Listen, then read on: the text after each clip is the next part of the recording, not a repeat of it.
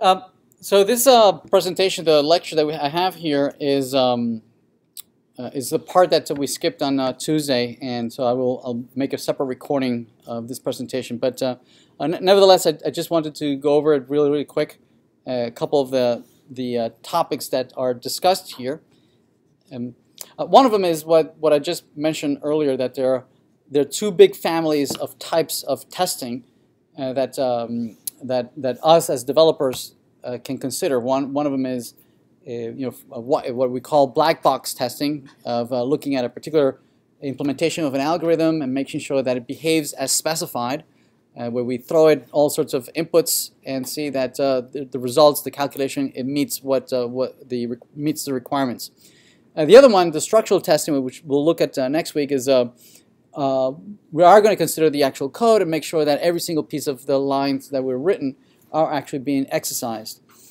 The the other the other point that um, uh, that that the, this uh, lecture uh, made, made uh, um, reference to was the quality assurance. That uh, oftentimes we we um, we use a misnomer of QA when the real with, with the real um, meaning of quality assurance is that we want to remove the defects before it goes out there. Right? That, that any efforts that we might make using functional testing or structural testing uh, is to make sure that whatever product it goes out the door or that it goes out, uh, you know, that we consider to be complete, you know, is with the minimum number of, of, of defects as possible. Uh, in uh, when, when typically this is um, uh, this is actually understood in reverse, right? An opposite meaning.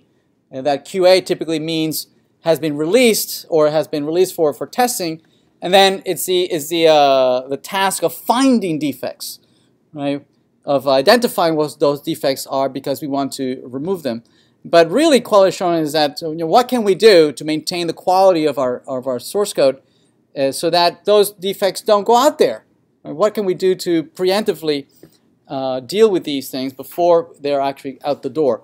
And that's where you know, unit testing and integration testing uh, allows us to identify these things even before anybody is uh, you know touches it or sees anything uh, or or identifies any defects with it. So yeah, so that I wanted to point that out. Uh, the other the other aspect that uh, I wanted to point out was um, that one of the things that we need to consider is that testing is really hard, right? That um, even with uh, with some simple examples of, of some really simple games where there are only two variables that that are, are uh, can be of input of you know how much force you're going to throw a, a, uh, projectile and what angle you, you're gonna you're gonna throw it at. There's all sorts of combinations of what these variables might might be, uh, and and and certainly we want to have some confidence that at at any combination of these two particular variables the application is going to behave correctly. Right? And, and just with this very simple example, you can see that the, the, it, there's a, there's a uh, combinatorial explosion of how many possible types of inputs uh, we need to consider. Right? There's, there's way, way too many, too many values to consider.